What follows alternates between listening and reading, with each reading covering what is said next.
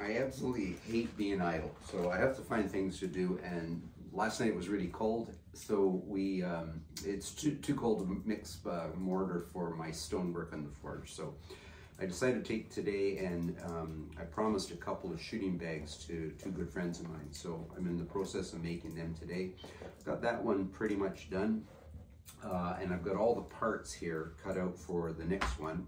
But before I get into that, I thought I'd show, um, well, first of all, other shooting bags and, and different influences, if, if you would. So this fine bag is made by Jeff Lou down there in the States, and um, that's obviously a European influence, and he's tooled in the word liberty on that, which that, that struck my struck a, a chord with me. So I, I got that bag from Jeff, and um, uh, I'm going to show what's in it in a minute, but um, so European influence, native influence. So this one's made from brain tan deer hide, uh, and the major difference, pretty much the same size, but uh, this one doesn't have a flap. They, they didn't prefer a flap for the most part. So uh, when I go hunting, um, there's some things I have to carry aside from the shooting bag. So uh, my powder horn, obviously, uh, and I generally with the smoothbore use 2F powder. And if I'm hunting birds, I'll carry my shot pouch and it's got uh, the powder measure and the, the uh, shot measure, which will throw an ounce and 5 eighths of uh, number five shot. So that's if I'm hunting uh, birds, uh, rabbits, squirrels. But what's in the bag? So at a glance, you'd think that bag's pretty impractical. It's too darn small. Well, traditionally, if we look at existing pieces, they were small. They didn't carry things they didn't need. So um, maybe before I take a peek inside that, we'll look at what I would carry in a multi-day trek, because inside here is everything I'd need for two or three days in the field. But if I was going to go on a multi-day trek, there's some things that I can't get in that bag that I would take along with me in a bigger haversack. So I would take a small tin of rendered down bear fat, and I use that for all the lubricants, the inside of the lock, the inside of the barrel, the outside of the gun, and even the wood. Uh, just keep rooting around in here. Sometimes I carry a bullet board, and that one was made by my good friend Bob Miller, and he's a luthier. He, he builds some amazing instruments, but he carved that out for me, and it's got some nice tooling of um, floral pattern and leaves in it. And I would carry a, a, small folding ladle that I made for um, making more bullets in the field. And also a small bar of lead. Uh, we'd also have my bullet mold for forming the balls, running balls as they say. I also carry the three springs in a musket. So I carry the frizzen spring, the, the uh, main spring and the sear spring. And I carry a, a, a, spring tool if I have to do those kind of major repairs. So that's multi-day treks. But if I'm going out, as I said, for just a, for a day or two, this is what I carry in this shooting bag. So I always carry a compass and I have that right handy. In this bag I have some tow, linen off the scrapings from the linen floor, and I use that for cleaning the musket.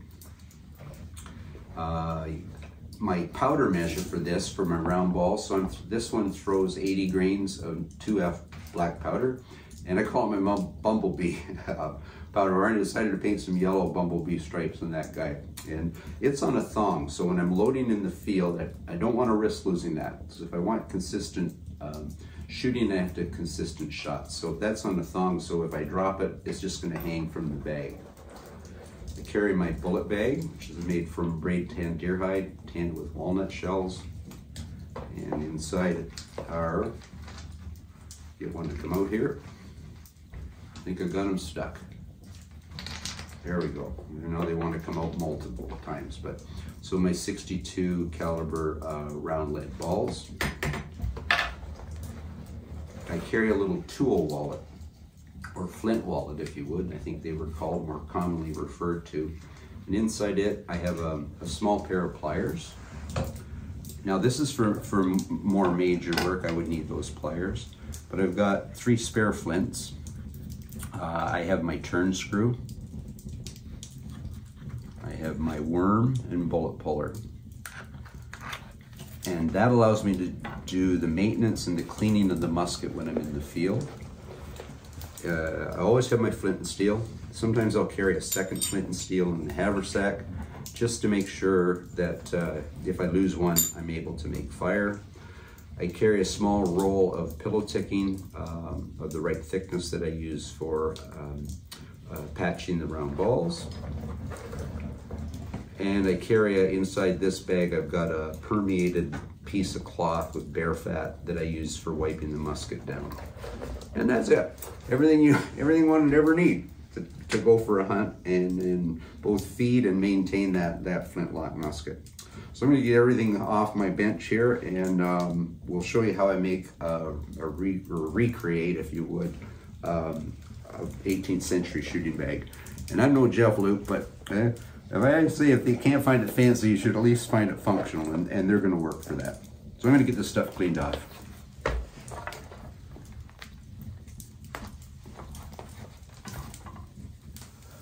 So if we look at some of the finer details um, of the parts, if you would, that are involved in the bag, you'll notice on the back of Jeff's bag here, we've got this stitching. So inside the bag, um, he's done some fine pillow ticking on, on the flap, which was typically done. Uh, he's sewn a small pocket in there. And I, had this friend who said, oh, well, that pocket, those little pockets they sew in those shooting bags, they're useless. And he used to just throw all this stuff in the bag loose till one day he reached in and gouged his hand on a flint. It was quite a nasty wound. Um, so yeah, you can put certain things in that pouch. And I like to carry, um, as I said, my compass in there and my flint and steel. So I know right where they are and all my other shooting accoutrements are, are in, in the bag itself. So like I said, I've tried to recreate Jeff's bag. Um, on this one I finished, I've sewn uh, a piece of brain tan deer hide on the part that will wear a lot, your hand going in and out. But it's made from um, vegetable tan cowhide. And one of the things you saw me at the start where I'm kind of working it is you have to kind of break this hide in. It's like a, a piece of wood when you first start. So the first thing you do once you've got your design that you like and you've cut out your pieces. So there's the, there's the uh, strap that's gonna go on that bag. And I've recreated the same style of, of buckle. And now I have an example over here of of buckle here. Now, Bo Beckett, blacksmith and good friend of mine, he made those buckles, and, and they're fine examples of what they would have used and worn in the 17 and 1800s. So that's the short strap, and typically that buckle was worn on the back so it didn't catch things like your uh, powder measures and things that you'd be wearing on the front of your of yourself as you were hunting. So we've got a buckle on the back strap. We put a welt in it between the leather, that gives it its strength. So as far as parts, we've got the back, we've got the front, we've got the flap, and we've got basically it's the hinge um, with a bit of a decorative mold to it um, that will be sewn both to the back portion in terms if I put them the right way around. It's sewn here and then it's sewn onto the flap itself underneath and that'll give the flap that covers the front of the bag. And the welt, the welt I'm going to stitch uh, around it like this between the two, and it does give it a lot of extra strength. And I'm going to be using waxed linen for the thread, which would have been typically done. Um, so I've, I've spent hours, I, literally hours, breaking this hide in to make it soft. So the process is I'm going to sew the bag inside out. And once I get get it all finished. Then I've got to turn the bag right side out, right side, inside out from right side. Anyway, something like that. And It is not easy to do. Um, uh, this bag here took me about 15 minutes. Uh, had to get a tool. I think I used an axe handle to finally get that thing to flip the right way out. Oh, and there's one other piece here that I seem to be missing, uh, and that's this gusset that gets sewn in the bottom. Uh, you can see it here in Jeff's bag, and his is certainly a little prettier than mine. I, I, my fit isn't quite as good, but what that does is makes the bag a little bit um, bigger in volume, if you would. So I decided on that bag to put the gusset in. On this bag, I'm not going to sew that gusset anyway, so it doesn't matter that I'm missing it. Anyway, I'm going to start putting this thing together. So I use a, an awl, and, and by the way, I've talked frequently about old tools, but of all the tools I own, and, and I own some fairly complex ones, that's my all-time favorite. I have used that awl, and it was gifted to me, but I've used that awl for It's triangular in shape, uh, probably the last two decades. Anyway, I love that thing. So I put a series of small holes around here. Now, if, um, and you can see them here. Now, a, a real leather smith, if you would, I don't know what you call them, leather worker, leather maker, they would use a punch and, and they, they would punch those holes in. Um, so, but in on the frontier, they would have had something simple like that. They wouldn't have those fancy tools. They'd have a knife for cutting it out and that for making holes. So we're gonna go with that. And what we're doing, as I mentioned, we're gonna sew it inside out. So back goes down, the front is opposite, the welt's going in between. And I've started my punched holes on this side. And so I'm just gonna get a couple started here. I know this isn't the way I'm sure Jeff builds his, but it, it works for me. So we're gonna do a simple um, saddle stitch. So got enough thread to, to go completely around and you're passing those two needles. You're gonna go through the hole or one hole and then you're gonna go back through the same hole. And that way you can tighten it up and keep that a, uh, a real tight uh, fit as you stitch around the entire bag. So we're gonna get the first couple started. It will take me a few minutes and then we'll be off, off and running here.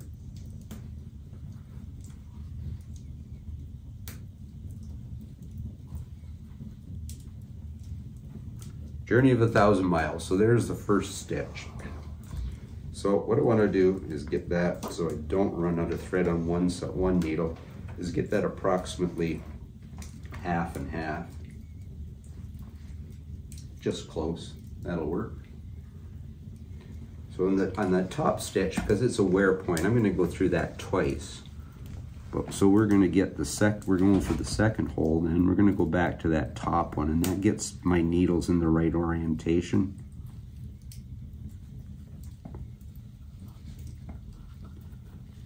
Pull that guy through. And then we're gonna come back to the top here with this one. So we're gonna have, what we want is opposing needles and right now they're not. I'm gonna go back through that same hole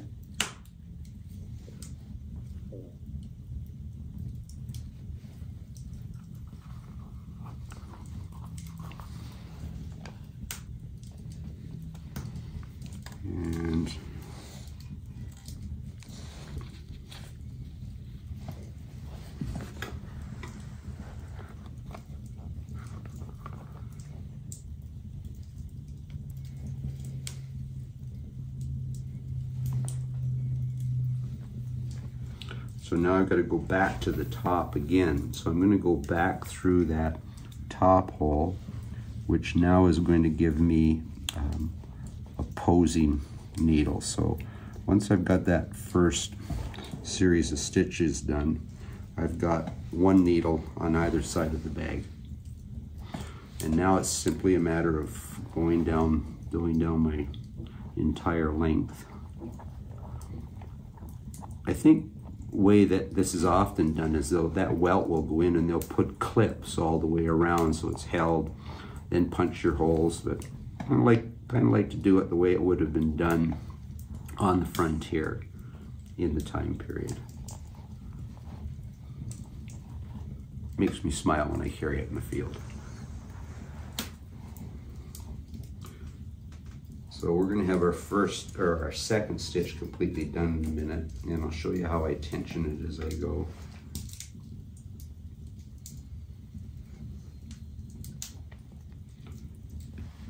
So now we have two stitches done.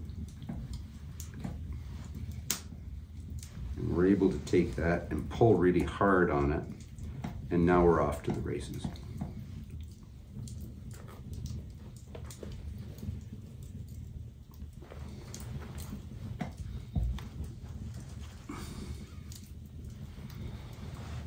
Okay, we'll uh, call that a good start. So you can see my stitching there and I'm pretty pleased with how that's turning out.